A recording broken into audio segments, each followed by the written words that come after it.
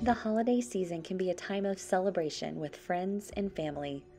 But when the things we once enjoyed are no longer possible due to changes in our mobility, it can be a time of sadness and isolation. At Rehab Medical, we want to bring comfort and joy back to the lives of those you love through custom mobility equipment.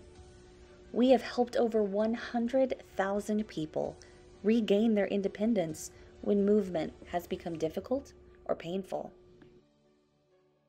Some may not alert others when their condition worsens for fear of being a burden, but it's important this holiday season to recognize a need for improved mobility in those you love and give them the best gift of all their independence. Click to learn more about how Rehab Medical can help someone you love regain their mobility and continue living life to the fullest.